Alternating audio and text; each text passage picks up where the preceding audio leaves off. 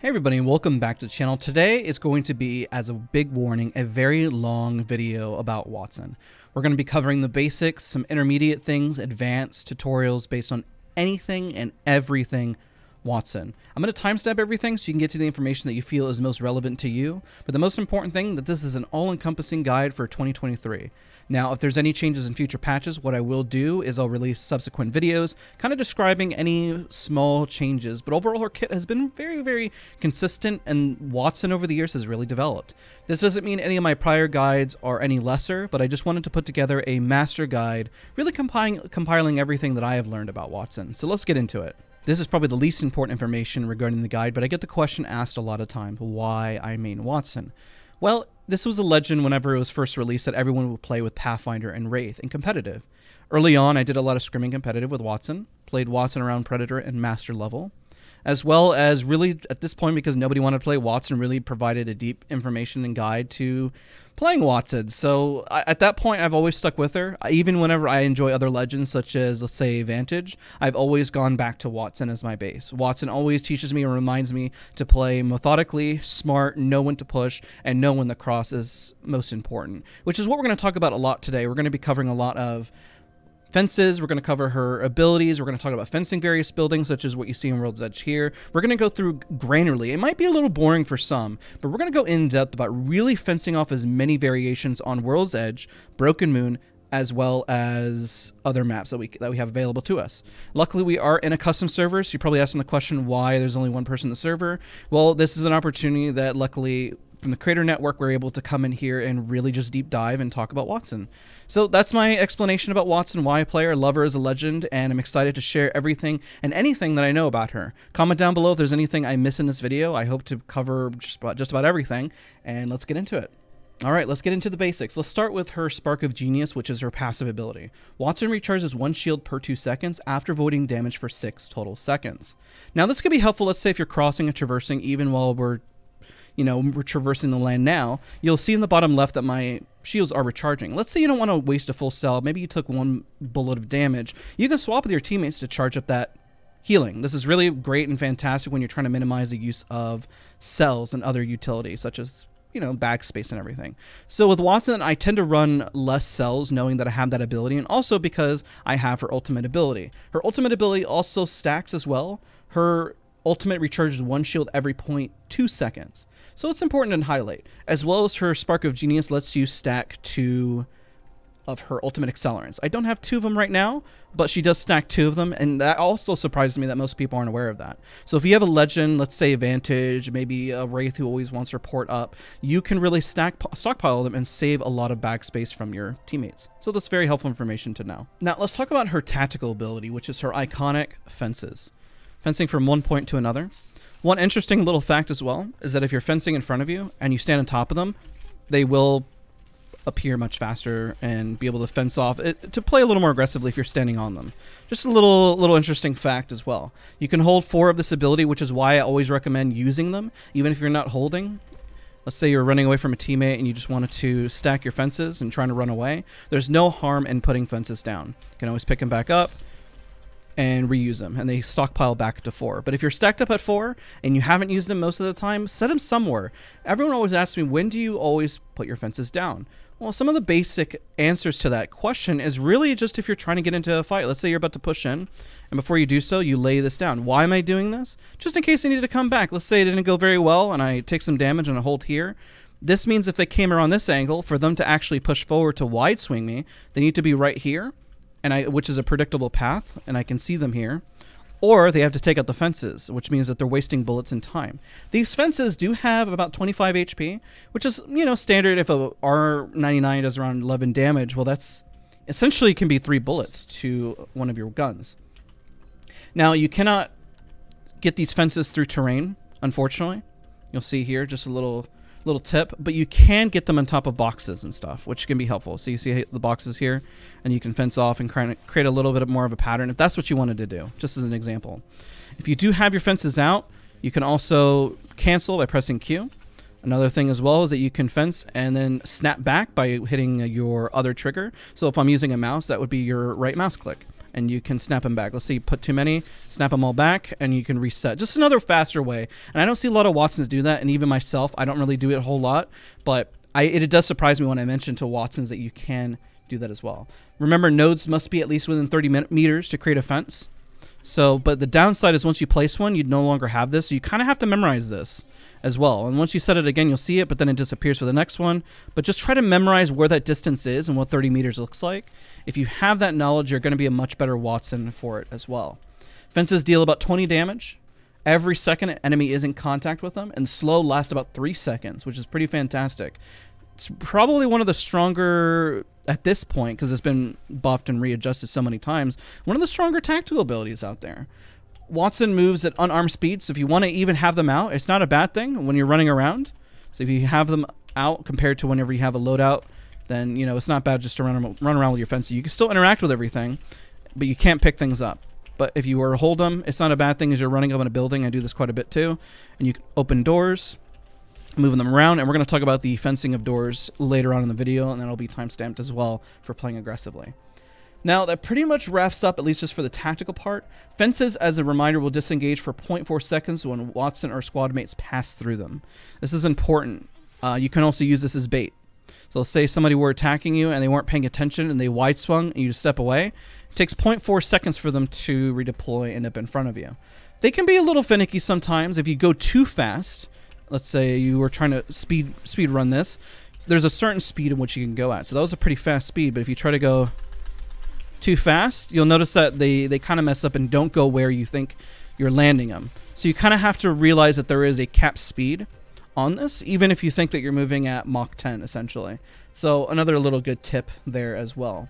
You can use this as well for down teammates. Let's say if a teammate is down and you don't have, I don't know, you're trying to run away, just put a, a fence right on top of them. It can help slow them and do some damage and they get caught into it.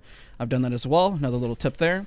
And at least when an opponent does hit a fence, let's say by a choke, you can use this as information. Even though Wattson is not, let's say, a scan legend, if you have your fences put on a giant wall or even at a door, let's say a team needed to go through here, you'll know when a fence is being destroyed or gone through. Now, another tip for the fences that I highly recommend is make sure that you really spread them out. So, what do I mean by that? Let's say when you spread it out and you try to get as much distance as possible. Now, this may not be exactly in front of the door, but if somebody's trying to shoot it, this can be really hard. You see this angle? really hard for them to move out and then try to hit it. They'll essentially have to come up here and then shoot it that way. Now, if they come around this side, you'll notice that it's much easier to shoot because there's not a, a box blocking there. But at least it makes it harder and slows them up rather than doing this. I know that during doors you'll see people fence up like this and when you do that, well, that's really easy to shoot out. So try to think outside the box whenever you're trying to fence up areas, and especially whenever you're pushing a building as well. If you're pushing a building, I like to call this locking people in. You can do this more effectively as Catalyst, but can also be really effective. Let's say that if you're just trying to block in a team as you're deciding to push and create yourself options. Now, in some scenarios, there's only so much you can do in terms of the fences, but I mean, with that, at least you have a fence here. Now, the reason why you're doing this, especially if you hate door fights, is that the fences will blow out the doors pretty much instantaneously.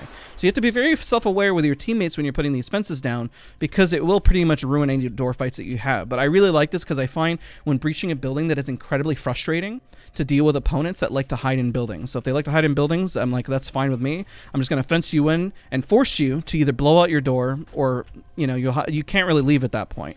And, if, you know, you pretty much get them stuck in there. So it's pretty strong. It's it's really smart. You know, this is pretty much like uh, I said, some of the basics. We're gonna start to talk about fencing patterns uh, here in just a minute, but I figure this is really important. So what you can do, as well, if you if you are fencing these doors, I'll give you I'll show you an example on this other door right here. Is what you want to do is to avoid your teammates blowing out the doors because uh, it can happen a lot. Is you want to already kind of have the doors open ahead of time, so then you don't blow them out. So leave. I always say leave doors open if you're playing with your fellow teammates, you want to have that ability to look outside anyways. And if you have them closed, the only option that you really have once you're stuck in here is that, and you don't really want to do that. All right, so let's uh let's go a little more in depth. Let's start talking a little more about everything that's going on. Let's talk about her ultimate next. Now let's talk about the basics of her ultimate ability, and then we're gonna get into some really intermediate tips and talk about placement just roughly. The pylon has about 150 HP with no set duration. Now, if you set up another one, it'll blow up the prior one. It's important, and I want to highlight this with the other fences, that fences you can post up to 12. So if you post up to 12 and you exceed that amount, it's going to blow up your prior fences. So I put fences on the other side of the map, they're all blown up. Now the downside of this, if a team rotates into that building, they start to see that the fences are blowing up, they'll know that a Wattson has already rotated to the next zone. Same thing with the generator. Now, unfortunately, opponents can use a generator and it recharges them at 0.2 seconds. So be very, very smart of where you place this and make sure that opponents don't use this against you with the pylon having 150 HP and no set duration, I mean, this thing could be a bit of a of a pain to deal with. Now you can really have to think about the fact of when you place this as well, because you want to maximize on its use because it can charge up to 250 in terms of shields.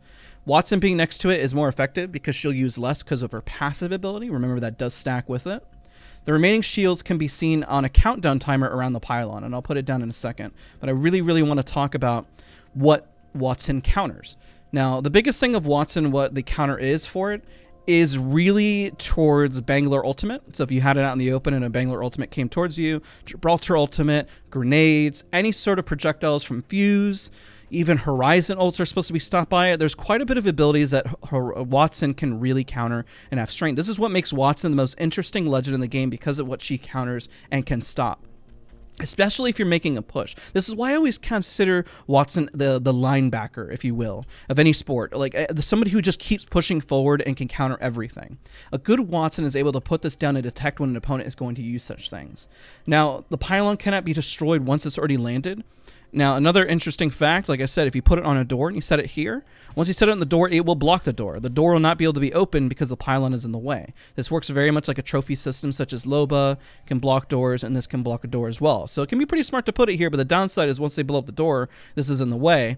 Now, another interesting little fact of what you can do with this, and I've done it many times, is that you can put the pylon to help get you into higher situations.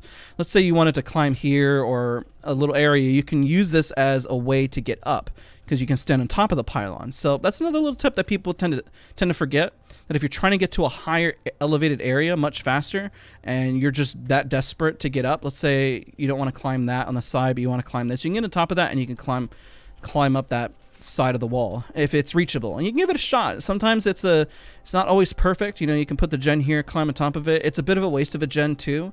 The downside is that you're using it just to kind of prop yourself up. But listen if there's a wall and they're on the other side of it and you want to peek them you want to climb it or you want to give yourself a nasty head glitch. And when i say head glitch it pretty much means like you know having yourself right around cover and then trying to peek with your gun out and mi minimizing your hitbox essentially so that's pretty much your ultimate. Let's talk about where you place this zone, which is pretty interesting. And when you place it, this is where you start to fence up and start to recharge. The security charges have 3 second cooldown instead of 15 when near the interception pylon. So once you have these, you're pretty much going to keep running back to your pylon to recharge your fences. And I apologize in the video if I, you know, I didn't cover the the, the the timer, which is 15 seconds. But it's kind of important whenever you start fencing up a building and start talking about that. So what we're going to do is we're going to talk about placement in some of areas, and then we're going to start fencing off every single building here in World's Edge, and we're going to do the same thing in Broken Moon, and we're going to do the same thing on, well, uh, Storm Point as well. So we're going to fence off as many different buildings so you can kind of get a feel and talk about the downsides of where you put your fences. Like I said, a long video, but I promise you're going to learn a lot. So let's say you were to put your gen here. The plus side of putting your gen here is that you can block nades from being thrown from here, and if somebody throws a nade and try to hit you in the back, it'll block it. The downside of putting your gen all the way back here while it's super protected is that if you're holding this area, then the gen does absolutely nothing for you. Now let's say you want to put the gen here. This is not a bad spot either. In case of a nade rolls inside, it will shock it, but it won't shock it if it hits right here, and they were really smart with their nades. Sometimes it does, but remember, anything blocking the gen is not going to block it. Now you have to remember the point of entry. If I come through here, I can't see the gen on the other side. Now if I come through here, I can see the gen right there. So place it where you believe that your opponents are going to run into. Let's give a circumstance and say that the zone curves this way, right? Realistically, nobody should be pushing this side. They're most likely going to be pushing in front of us, so we put the gen here. Now, if it was opposite, let's say the, the zone was arcing all the way this opposite side, well, we might want to put the gen on this side instead. And the reason for that is because nobody should be coming through our backside. So it's very important whenever you place, and we're going to talk about this on Broken Moon quite a bit, of where you place your gen. Your gen is very important of where you place it. You want to place it where you believe is not going to be shot down. And if you want it to be shot down, what you could do as well, and I've done this many, many times before, is you place it down maybe somewhere aggressively, and maybe you can use it as cover. I've used it as cover uh, and saved my life many, many times. You place it down, you start to pretty much just wiggle around it. So really, really strong utility when you don't have any cover. But it is, again, remember how many ult accelerants you have and how much of a waste that'll be. So Again, you can play more of an aggressive gen, but the plus side, if you place it here, you're going to get shot from that side, you're going to get shot from this side. So most of the time, you want to put it inside. If you put it inside, remember that it can be shot if somebody was breaching this way. Now, if you put it on this side, when somebody was breaching this way, it makes it harder for them to peek and shoot the gen without being exposed. Now, let's say you were putting it this way. This will block it in case they were trying to breach in from this other way here, and it makes it harder for them to see it. So remember which way of entry you deemed the most risky. If there's all the teams over here, well, we should probably put the gen on this side because that make, makes the most sense. And if they're all over here and nobody's on that side, maybe put the gen over here. So you kind of really, this is why I say Wattson, you have to play smarter than any other player in the game because you have to anticipate where opponents are going to be. If there's no opponents this way and there's an opponent over here, there's an opponent over here, there's an opponent over here, well, you got probably got to put that gen inside because that means the person over there is going to shoot at it and placing it here is probably going to be your best bet, which gives you that poke damage. Now, the interesting part about Wattson is the fact that she has so much power to oppress when it comes to placing her gen down. Now, the reason why I say this, if you're running a sniper and you have your gen right here, even if you get hit for 55 damage or even get hit for 20, you have your gen just to sit here. And honestly, sometimes what I do when I put the gen down, I'll put it down just for now, is I'll continue to repeak this spot because I know that even if I get hit, I should be able to outlast them. Let's say I do a little bit of damage and I crack them and they crack me. Well, I'm going to heal up faster. I'll just hold here.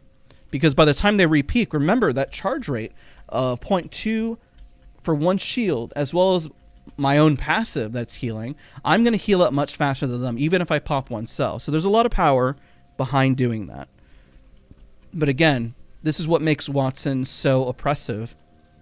I really believe it's pairing that that generator, especially for early fights. Let's say you, you got off drop, got yourself an ult accelerant, because the ult accelerant puts your generator back to 100%, which is really effective. And it can make give you the confidence of pushing in, because you only land with two cells. If you land with two cells, having that generator there healing up to 250 worth of health is really, really effective. And that based on that time, you'll be able to see how much you have left and how much resources you have saved. This is what makes Wattson so effective, especially in competitive, especially in ranked, when it comes to resources, and it gives you the confidence to run less cells. So, quite effective.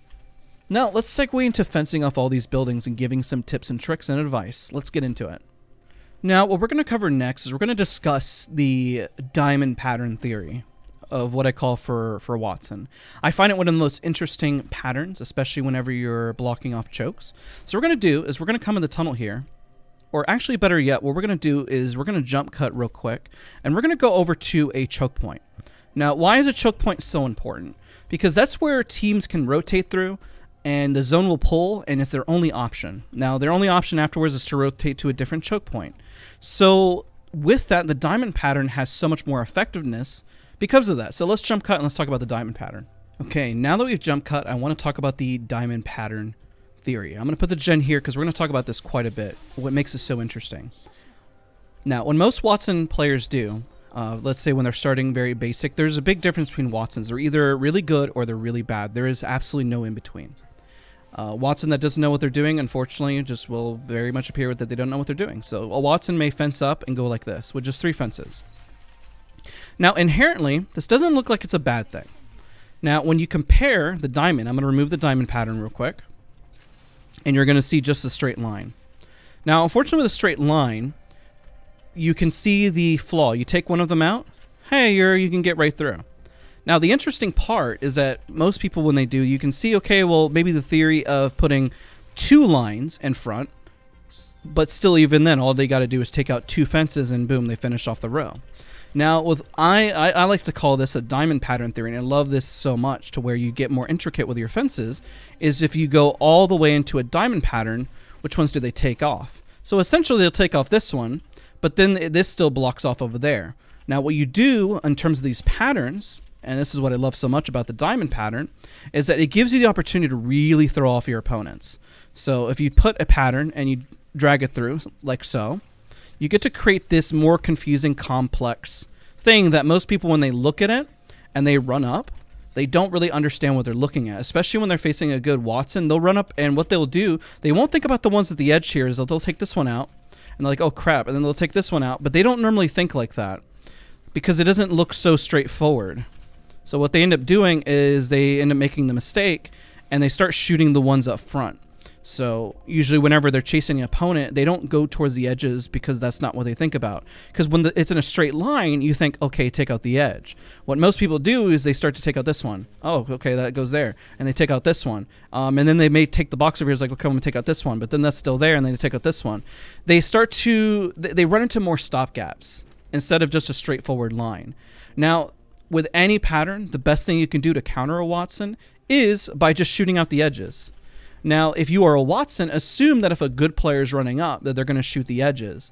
But if you're running through, most players don't think like that when they're chasing you in the moment. What they'll do when you put up the diamond pattern, which I love so much, is whenever you have the diamond pattern and they're chasing you, let's say they're running down and let's say you've already choked off this point here, is that they'll run up and they'll be behind the box here but then they'll hesitate and they'll try shooting you as you run away and hold and maybe have a gen over there and a different angle and to be positioned better but they're not thinking about shooting these edges. Now unfortunately with this guide if you're looking to counter wattson always shoot out the edge no matter what you're doing because that makes it much easier. But if you want to make it more complex as a wattson you just keep dumping these fences in here. This is your best way to create this pattern. Now remember you have a total of 12 if you really really want to upset somebody and make it super confusing, then I highly recommend going for more of a zigzag towards the last pattern to really throw it off as well. With a giant zigzag, you'll notice that there's a lot more stop gaps and it looks very overwhelming. I love how overwhelming this looks and it'll deter most opponents from, I would say, about a beginner to an intermediate.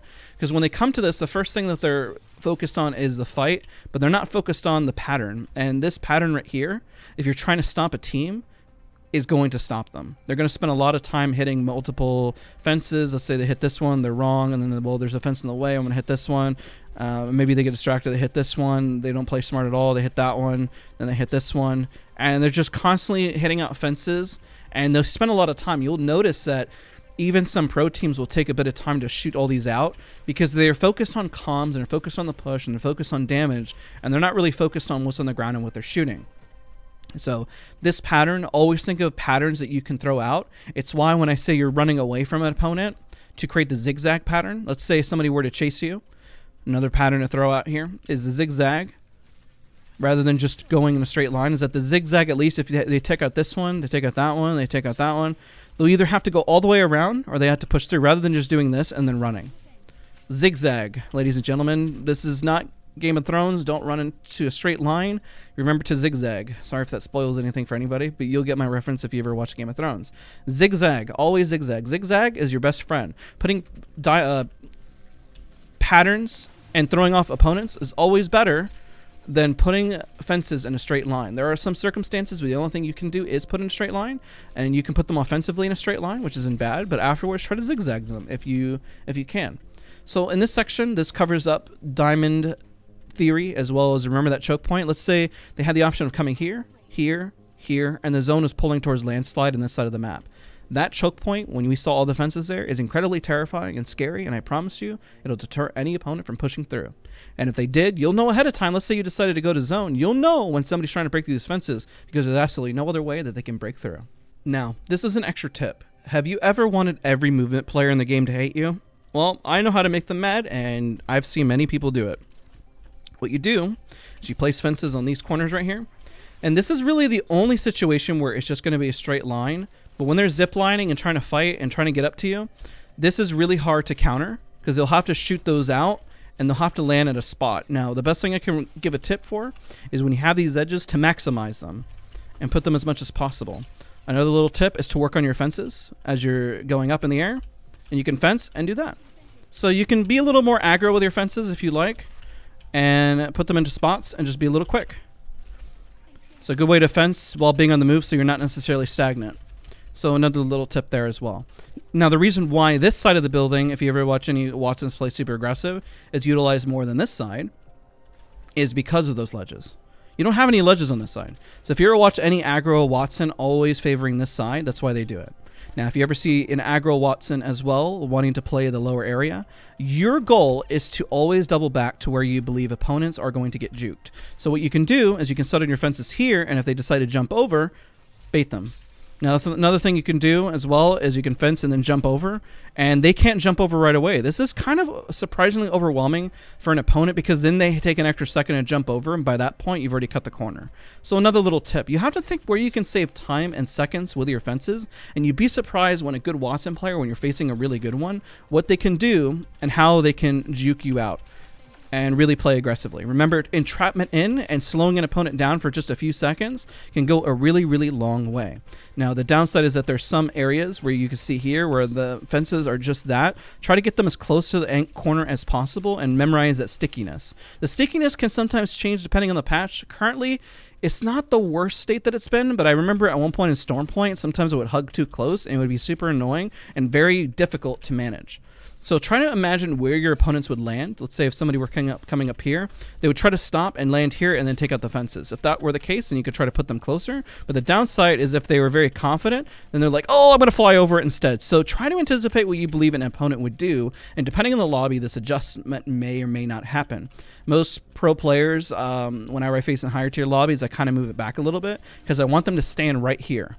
Now, in lower tier lobbies with people who've never seen fences before and suck with their movement, uh, sorry to be a little more blunt there, but if they're really bad, they don't really know what to do and they just go through the fences. So lower tier lobbies, put them closer. Higher tier lobbies, they're not going to fall for it because they're too smart and they'll jump over it.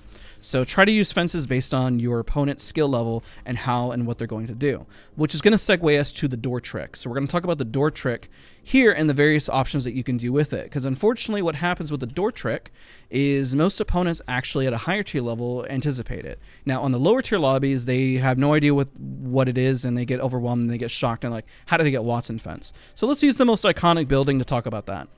Now, if you're Wattson and you're ever being chased, you'll probably notice a Wattson may every once in a while put down a random fence and move around if you ever watched him on stream. Now, the answer to that is because the most iconic door tr trick. Now, this door trick is really only good against a certain level of tier player, but you can bait them out and use it in different ways. So if you're being chased, it's always good to put random fences in different areas of where you can attach them, because you can always attach from the door here and then set it up. Now, the beauty of this door trick is that once you do it, it blasts the door and it also stun them.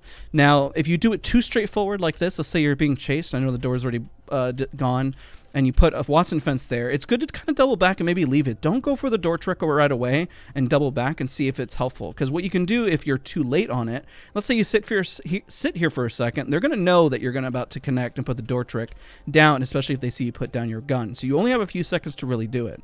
Now, if you do it too straightforward like this, most people won't fall for it. Sometimes it's good to put it at an angle. So if you do this and you put it at an angle, it's much easier to bait them out. This is a mistake I did early on with my door trick as well, is that I made the mistake of not putting it at an angle, and I did a little too straightforward instead.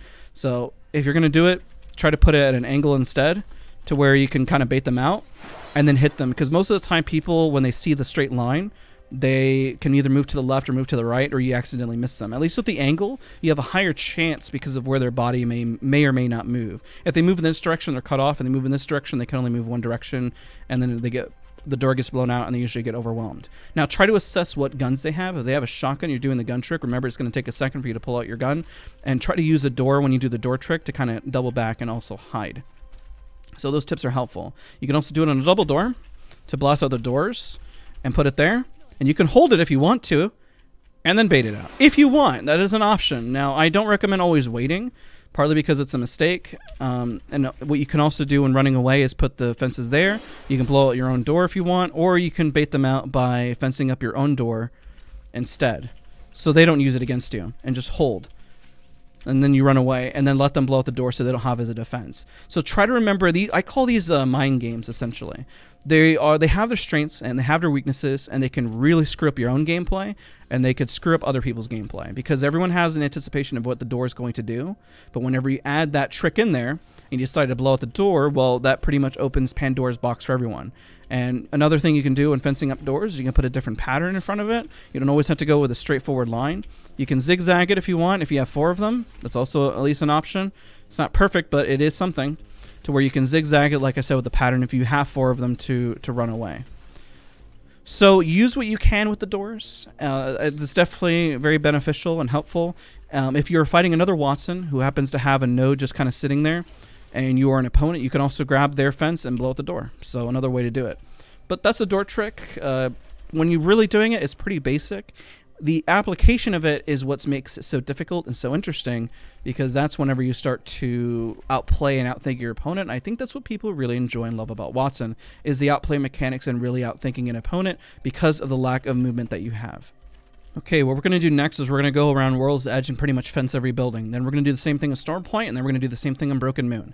What you need to decide first of why I've decided to use this building is you need to decide what floor you're going to actually sit on. Now, the reason for this is you only get 12 fences. If you only get 12 fences, you cannot actually occupy every single floor of this building. You can, and let's say you spread it out, but your fences are going to be a lot thinner. Just some examples. Let's say you put four, uh, four up on that floor, and you decide to put four or six on this floor I always recommend to really occupy a specific floor of a building so your fences are a lot stronger rather than trying to spread out your resources. You're going to see that as a constant theme whenever we're talking about fencing up these buildings because every floor is fenced up a little differently. If you put, you know, just a few fences here and there, it's not a bad thing, but the strengths of your fences are going to be a lot weaker. So let's say you decided to fence the first floor of this building. Well, we think about where is the gen most powerful to be placed? Well, unfortunately with these doors, you can pretty much see it at every which angle. You can kind of see it here, but they would have to move up right up to the door, and they can kind of see it here. I would honestly say the best spot to put it would be here. Now, if you were to fence, you can put up your fences, try to block the doors as much as possible, and double back. I call this webbing whenever you're playing Wattson is you want to spider web your fences. You don't want to put them all in the most obvious spots, and there's not necessarily a right or wrong way to fence a building. Partly because you, if you do it the most stereotypical way, then opponents are going to start to memorize and read oh, eh, this is how a building is fenced. So when you look at this, this already looks a lot more overwhelming. Try to double back, refence, and do everything you need to do to, to throw off your opponent and then keep track of your own count. You see how I have multiple that are backed up here and how many times this is doubled up. You see how this is much more effective than just putting a few fences in? Let's say if we know they're trying to push into this way, this is really difficult to get through. The reason why is that Gen is in a really oppressive, strong spot because even if they run up and the door's not there, you can blast them down the hallway. But you have multiple nodes that are blocking as well. That doesn't mean this is a perfect way to fence it. Let's say if we were to go to the other floor up above, you can start to fence it off that other way as well. So let's go and fence that, and let's give that an example. Let's say you wanted to hold, because this, cause this can be pretty straightforward. Let's say you wanted to hold this floor instead. And then you just wanted to double back. You double double it back, now the downside is that they run up down here is that they'll shoot this, but if they shoot this, then it might take off that one too. So if you want to cut it short, you can cut it short. You can fence here, double it back, put it back, and, and web it. Just keep creating um, unique, intricate levels until you run out of fences. Because this is very, very difficult to breach if they decide to run in. If they run in, they usually say, okay, well, I'm.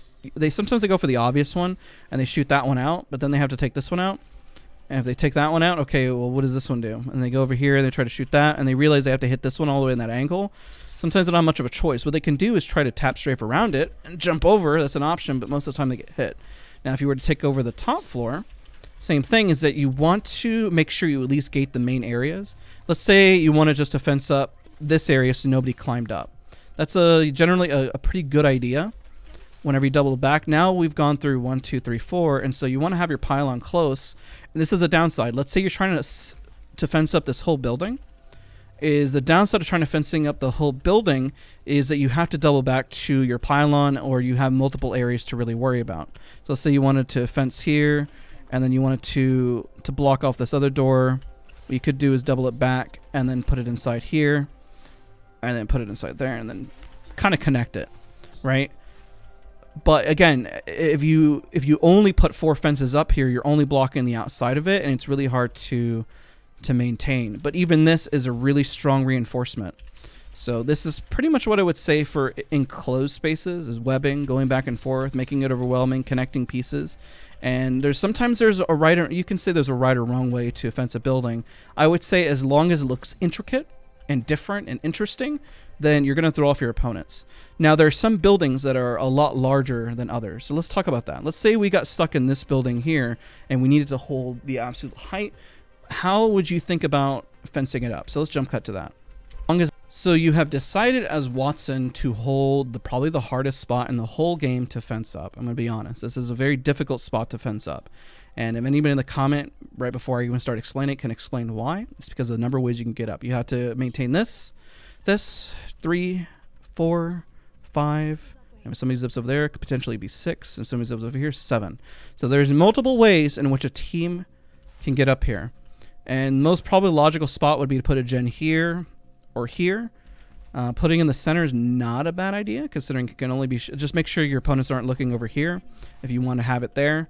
Um, just make sure you have it clear, uh, I guess a reasonable area. So just for, for now, just because we're going to fence up, we'll put it right in the center. So let's say you were to fence up here, and then you want it to block off as well this section here. Remember to always don't do what I just did there and keep it as close as possible just to maintain that.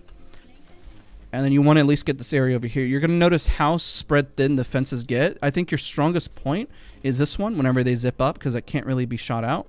Now you can put fences here. If you want to put them up top here, it doesn't really connect to anything. So I probably recommend putting them at least close to this and try to bait them out to where they stop and they move into a predictable pattern. So now we got one, two, three, four, five, six, seven. Already seven fences down and we haven't even covered this spot here. You move that there. And the downside of this area as well is how much you're able to actually cover. Because of that, you may actually have to waste an extra fence just to get around geometry because it's not perfect. This is a very hard building. So now if we recount again, you got one, two, three, four, five. Oh, shoot, I already miscounted. one, two, three, four, five, six, seven, eight, nine, ten. So 10. So I got two more fences to put down. Maybe just kind of zigzag them in the center and then reconnect here. And there you go. So if I put down another fence, should uh should blow blow it up. There you go. So it blew up that one. But you see where I covered as much as possible. But the downside of doing this is now you see that this whole area is exposed. If somebody wanted to push up here, they come up, this whole area is exposed. You need to find areas as a Wattson an area to hold is that you, you start to notice the flaws of these areas. Anybody, any pro team and anybody who's competent to push this can push this very successfully. And it's going to be a very hard area to really push because of that. That's why you don't see many teams hold this. And starts to give you information of what is a smart area to hold. So let's kind of segue to another building in part two of what to what to do. But again, just cover your bases and you can stronghold more of an area. Let's say zone is arcing. I'll give you an example. Uh, zone is so important. Let's say it's arcing this way. Well, you know to put all your fences this on this corner instead of the back because you know the zone is your protection. With Wattson, your zone is technically your best friend. The zone at least gives you your back coverage, and you being more in an open space is very dangerous as a Wattson. I think having your back cleared is very important which is kind of counterintuitive for as a tip because most people will say go to zone as Wattson, but I think playing edge as Wattson can be also just as effective. So what do I mean when I say that? Let's say we know the zone is pulling over here, Wattson will run to the center and then start defense up. The downside is that Wattson will have to really hunker down in the floor, and usually Wattson teams will get pushed out and then they don't really have any like I guess we call it posturing up power or ability to get out. They're just kind of their team is just stuck in a corner, which isn't necessarily fun to always deal with. All right, let's segue to the next building. Now, as a Wattson player, you'll start to understand what buildings become more reasonable to hold and what buildings become, well, pretty illogical to hold. Now, let's say you decide as a team that the inside of the building is a lot more important than the outside. So with fencing, you'll notice where you start to become more stretched thin. I always put the gen in this area just because from this standpoint, it can be hard to see the gen. At least from this angle, it blocks most nades, and most of the time they're going to chuck nades through this anyways. You could put a gen closer here, but then it's fully exposed here. And if you put the gen over here, well then it's not blocking most of the building. I find this to be, for the most part, most successful, unless you as a team agree that this choke point is the most dangerous, then you put the gen closer. Now the interesting part about this building is that this is probably one of the more straightforward buildings, and I would say of how to fence. Now the reason why is how you're able to connect most of your fences through. So you'll notice here that this gives us all the fences of one, two, three, four, five, six, seven, eight. Now we can start to do is double back, 10, 11, 12, and that's pretty much it. At least you get some doubling back depending on which one is the most important. You would put more of the fences on where you believe the opponent's going to come through. So if it was this side, then you put more of them on this side. If it was on this other side, then you put more on that side. But you see how the pattern, for the most part, of what you're blocking off, at least every area is covered. Because of every every area is covered, as I repeat it twice, you have more of a dominance here. But the downside is that you don't have any dominance on the outside of the building. So now, let us cover probably one of the most important tips when it comes to fencing off that I find strategically important. The inside of the building is important, but I also want to say that the outside is just as important as well. Let's talk about that. Now, when we talk about the outside of the building, the inside of the building, if you're ever being breached, this is so straightforward defense that it's kind of not even funny. I mean, you would essentially just have four fences. I mean, you could put them right in front if you wanted to, but there's only so much that you can do from inside the building, right?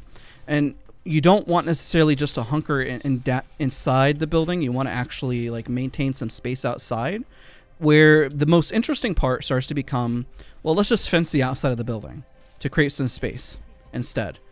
Creating space is just as important. Let's blast this out, just as we just did earlier, and charge our fences, and we'll talk about this. The outside of the building is just as important as the inside of the building, that if you decide to, that fencing the outside into one giant pattern can be just as effective to slowing down a team let's say they decide to shove you, but they got to take down a fence, and they look down for a minute, can be just as effective. So on the outside of the building, if we count, feels like a, a kid's YouTube channel. Let's count together. One, two, three, four, five, six, seven, well, seven fences. And if you put four inside, I mean, you still have plenty of fences to kind of play around with here you know, somebody in the comment section is honestly going to realize that I might have miscounted several times, and they're going to be like, "How dare this Wattson guide post of a man who can't count?"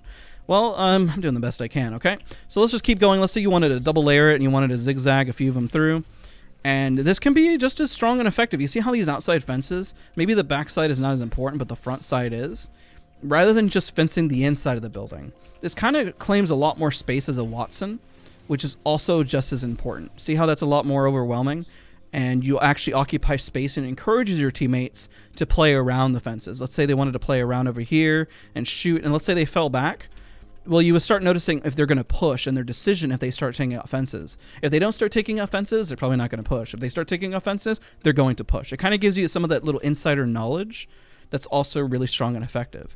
Now, you can do the same thing of what I'm talking about in this next part here. So I realize as I'm recording this that this guide could be hours and hours long. So please comment down below if you just want to see me make videos on fencing every single building in Apex Legends. And I honestly think I could dedicate a whole stream where we just run around and talk about fencing theory for hours and hours on end. I think we could be here for hours. So let's say you were stuck, and what I'm going to do is I'm going to cover four different buildings in this guide, and I think overall you'll get a general sense. Okay, it was like, okay, with this building, what do you do? Well, you can probably fence the inside of it, and probably not fence off the top if you don't want to be exposed on the top. If you wanted to fence off the little building here, fence on the outside rather than the inside, unless you're 100% can't hold the outside, then just fence off the inside as a fallback.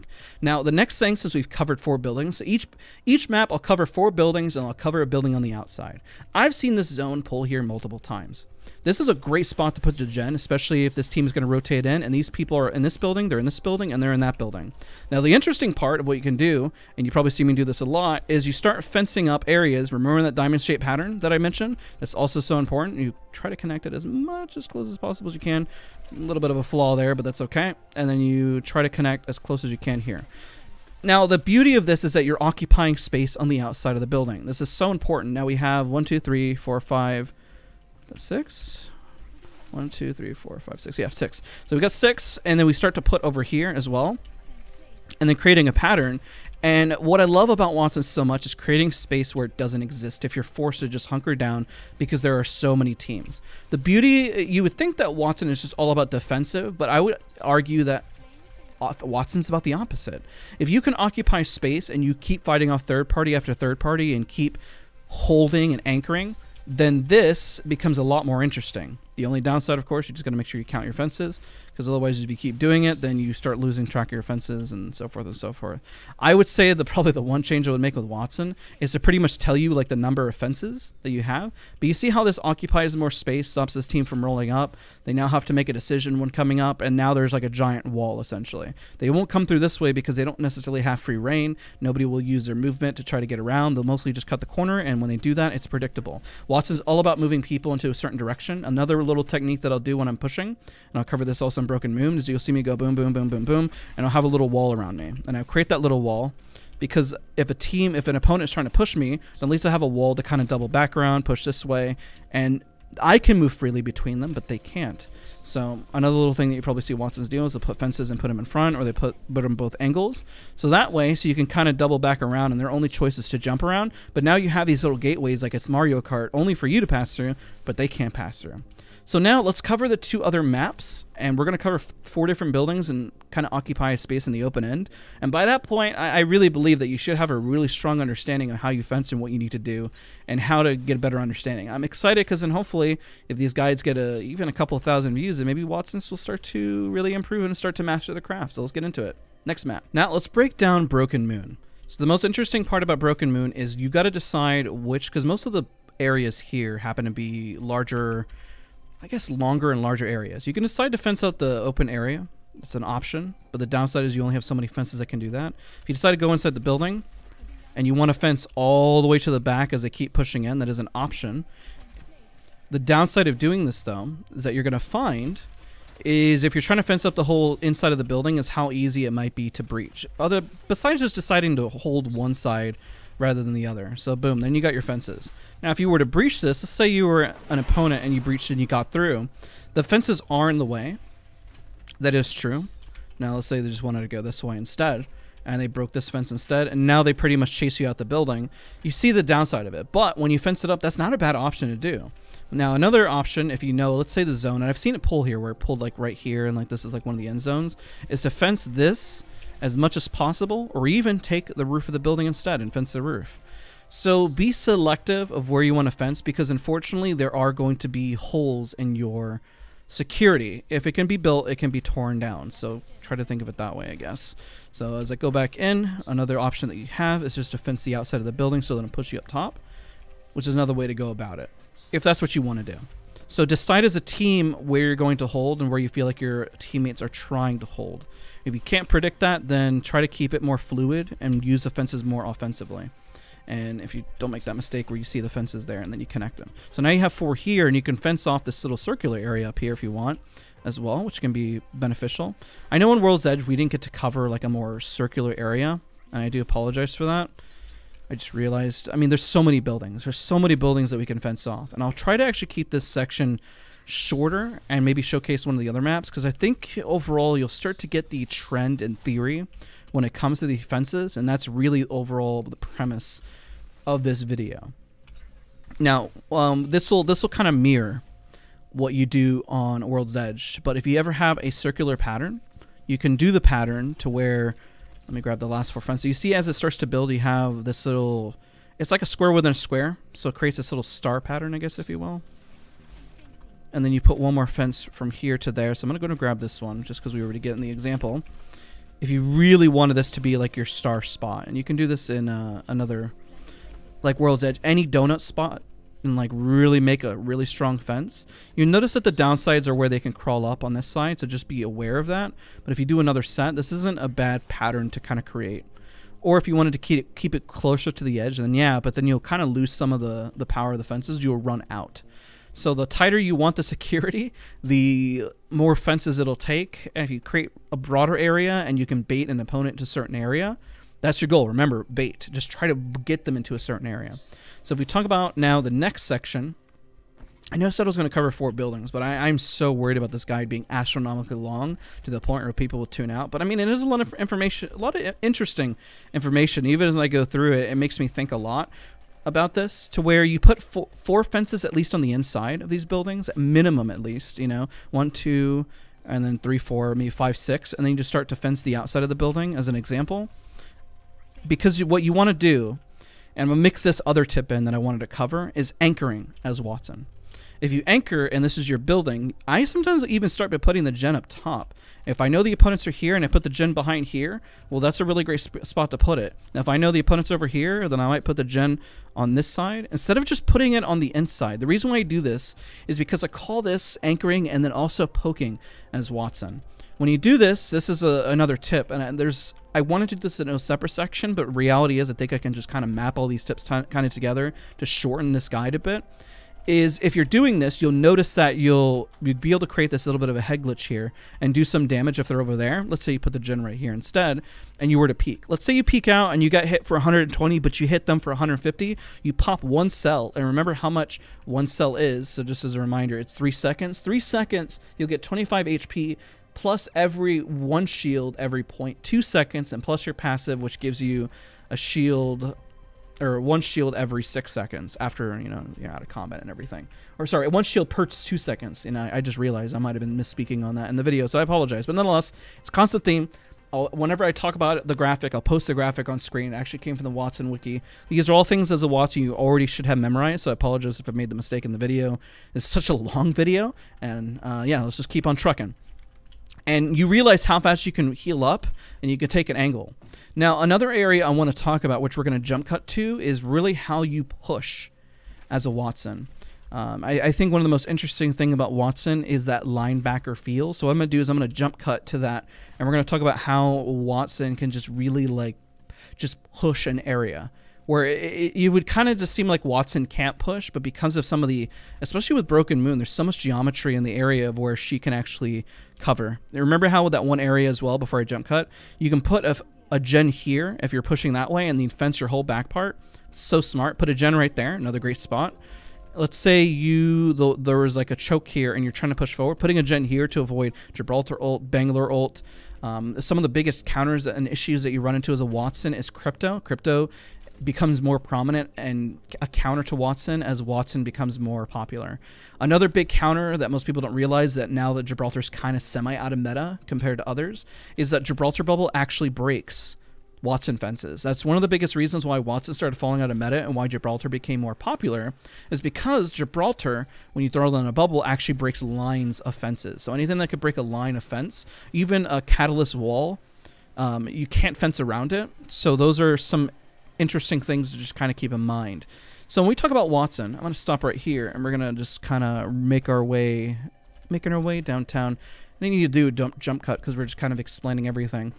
That most of the time, I'll use this as an example because this is a really hard area to push. So the quiz I'll give you of why this is so hard to push is because of the head glitch from that angle, that angle, anybody around the donuts, essentially, and then we'll showcase how you can fence up one of these donuts, and then we'll segue to the wrap up of the video by talking about Stormpoint and how you fence up those areas. Now, the interesting part here about Wattson is let's say you decided to push this building. So I'm going to show you the POV what it looks like from here.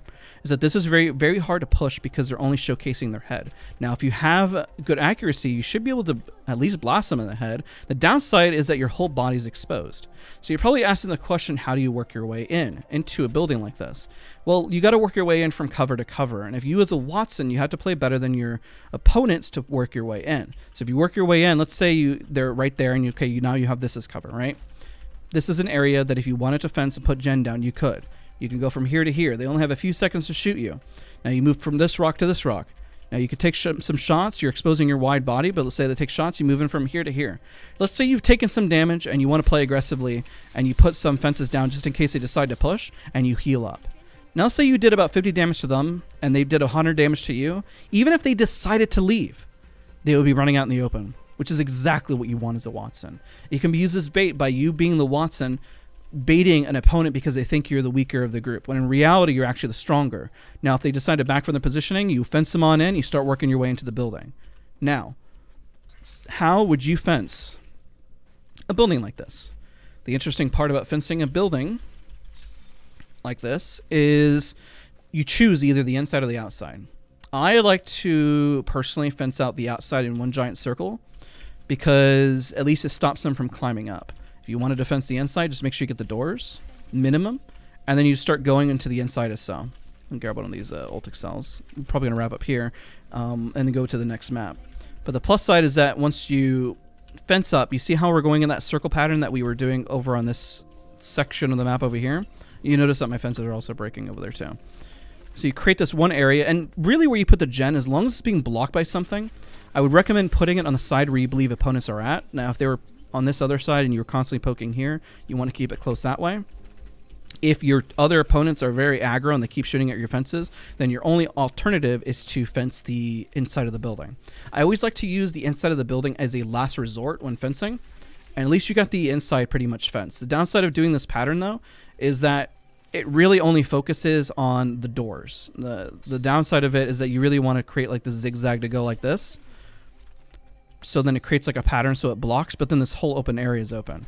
So again, there are always flaws in your security, but think of those flaws in your security so then you can use it as a okay i'm aware of that flaw and how can i bait an opponent into it so everyone's going to use their flaws quote unquote in their security differently and that's where your strength as a wattson is. That if I have all of them there and they push in, then at least I know where they're going to be. Most of the time, they're going to be on the right side rather than the left side near this fence. Just because most people uh, logically will want to be away from the fence, so most of the time they'll push this way. Psychologically, you start to play mind games. Let's try to think outside the box and how you bait opponents. This is where Wattson becomes a, a big brain legend because of how you dictate an opponent. It's like you're you're herding cattle, which is fascinating to kind of think about in a way. All right, let's go into the next map and let's talk about how you drop and how you become a better Wattson. We're going to go drop on Stormpoint. Now, in this final section, we're going to wrap this up with Stormpoint. The most interesting thing about Wattson, when everybody asks me how you play as a better Wattson, is to know your loot pattern. Let's talk about a basic loot pattern. Here, whenever you land, you go through the center circle and you loop around as fast as possible to get loot. Let's say you wanted to land over here instead. You would go through the building and loot and then keep wrapping that way. Or if this building, you would loop around, hit all the bends. So in this example, I'm going to loot here. We're going to talk about loadout and the strengths as Wattson of how you become a better Wattson than anybody else. Knowing your loadout is so key. So right off the rip, a flatline and an EVA 8 is actually a really strong loadout for a Wattson. The reason why is I have my mid-range to close range. So I got my loadout, remember, Ultimate Accelerant Stack, essentially a AR and a long mid to long range weapon is ideal. So a flatline R99 isn't bad. Now the downside is you can't poke at long range, so not having a sniper as a Wattson is a downside. So I could trade it, trade this for a 30-30 and R99. Now, if there's a loadout, let's say you just get really unlucky whenever you drop and there's no guns here, which can be, which can happen quite often unfortunately. But if you loot as much as we did just here, knowing your loot pattern, you get in, you get out, and you say there's people fighting, you know how to get up and pretty much fight. Now, don't go window shopping too much and obsess over your loadout because the downside of obsessing over your loadout is you you waste time. So if you're wasting time trying to clear out what you need to do and you loot at least pretty much semi, this quickly and you go fight, you'll have pretty much everything you need in your inventory. You got 14 cells, you got two bats, and then boom. We pretty much went through that whole loot effectively. Might have missed the bins over in the back, but at least you can go in into the center and fight. Now, if your teammate was nearby, maybe they loot here, maybe they land in the center, maybe one of you loots this area, maybe one of you loots this area. The goal is not to double up on your teammate and loot the same stuff. If you're looting the same stuff, you're wasting time you're wasting resources when you need to rotate. Let's say nobody landed here and they fought, as most people do, they land over on the mill. Well, your goal is to go over to the mill as fast as possible. So even landing here after a grab, let's say the flat line in the EVA 8, that's more than enough as a Wattson, you need to decide what kind of Wattson you want to be. Do you want to be poke and then close range, or do you want to be pretty much like the linebacker as well as maybe run an AR and a close range loadout? The downside of running, let's say, an SMG and a shotgun as a Wattson, your goal is to be the support to run it. I always think as a Wattson as somebody who is the cleanup crew. If you're playing Valorant, you have your entry fragger. Wattson is not the entry fragger. Wattson is the one that goes in right after to go for cleanup, or is the one that creates the opening so then your entry fragger can go in and make a mess of things?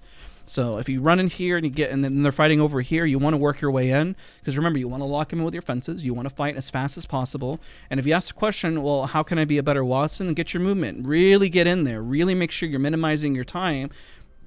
You have to be better at movement, better at looting, and better at rotation than your opponents. That's how you become a good Wattson. I think that's how you become a good crypto and a good like uh, defensive legend as a whole. Is that if you're faster, that means you can be reactive. You're waiting on the Wraith to make a decision. Fantastic. At least you already moved up and you're helping make an informed decision by making a crack and making your entry fragger more confident about making a play. That is your goal that you would want to do. And just keep looting and keep knowing where loot is as you're rotating. Like if you're moving this way and you need more loot, that's not a good idea. You want to rotate over to where the loot is. If you think about where this building is and you landed here, well, the guns are mostly going to be on this section here or on the the portion above. So if there's no guns there, then you assume there's going to be one in that angle over there and some loot there. And once you're done there, you have the the bins right here. And if you're hitting the main building, same thing. And if you don't get any good loot, you should just run and rotate.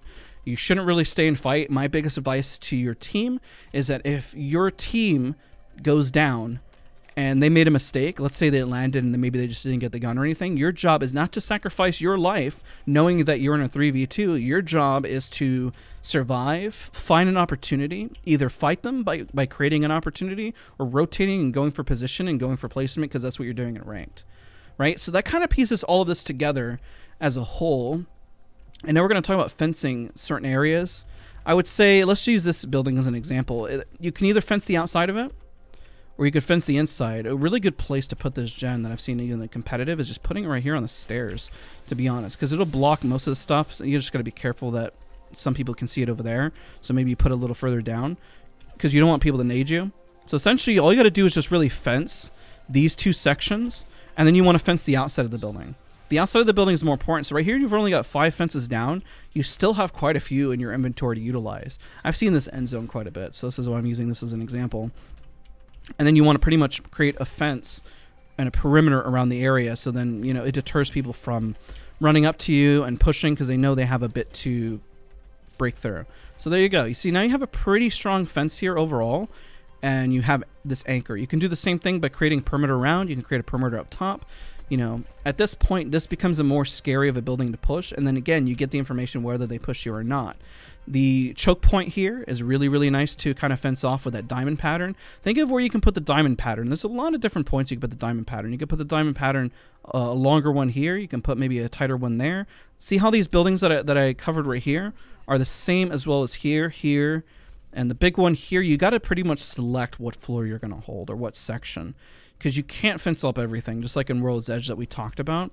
That's important. Now, let's say you wanted to fence an outside area here. Uh, maybe the zone is pulling that way, and maybe this actually is not a bad place to hold. Holding this here isn't bad. Could you put the gen right here? Let's say the zone is like curved and like the open area is in here somewhere, right? And this outside area, you know, is you don't have to worry about. But putting a gen here, at least you can dodge nades. You can put it right here, so it's closer. So if there was a team over there, they wouldn't pick on you. If you're on height, you can fence up that that area up there.